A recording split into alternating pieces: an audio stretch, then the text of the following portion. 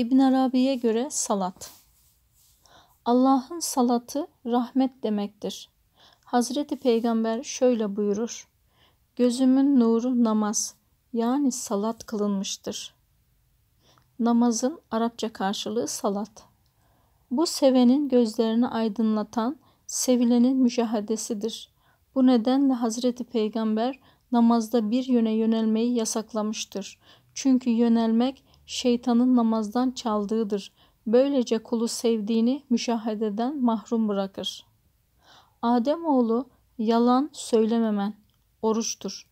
Kötülükten uzak durman sadakadır. Yaratıklardan ümit kesmen salattır. Kuşkusuz Allah kendisi için salat etmemizi bize emretmiş ve onun da bizim adımıza salat ettiğini bildirmiştir. O halde salat bizden ve ondandır. Bu durumda hak musalli olduğunda hiç kuşkusuz ahir ismiyle musalli olur. Bu durumda kulun varlığının ardında kalır. Burada söz konusu olan hak kulun kendi fikri düşüncesiyle veya başkasını taklit etmesiyle kalbinde yarattığı hakkın kendisidir. O ilahi mütekattır. Çünkü musalli yarışta birincinin ardından gelen demektir. Allah şöyle buyurur. Herkes salatını ve tesbihini bilmiştir.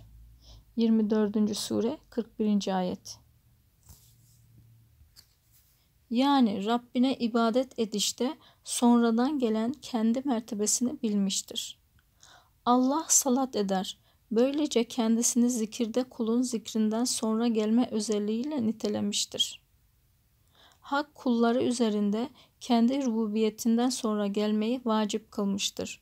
Bu nedenle kulu kendisini geride kalan anlamındaki musalli diye isimlendirebilmek için namazı farz kılmıştır. Kul Rabbinin mertebesinden sonra gelendir. Ayrıca hak salatı kendisine nispet etmiştir. Bunun nedeni hakikatin şunu gerektirmiş olmasıdır. Hakka dair meydana gelmiş bilgi mahluka dair yaratılmış bilgiden sonradır.''